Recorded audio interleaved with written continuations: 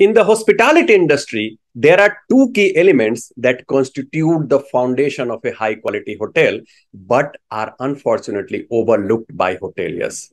One is the context setting towards the amenities promised, being mindful of every area, even a single corner can significantly delight, inspire, or spoil the mood of your visitors.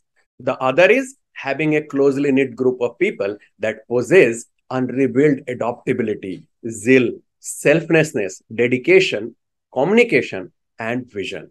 A highly skilled and qualified employee never misses on these aspects and ultimately moves toward becoming an effective team leader.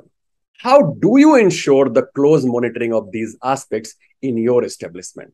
Comment below and let me know your thoughts. Bye for now.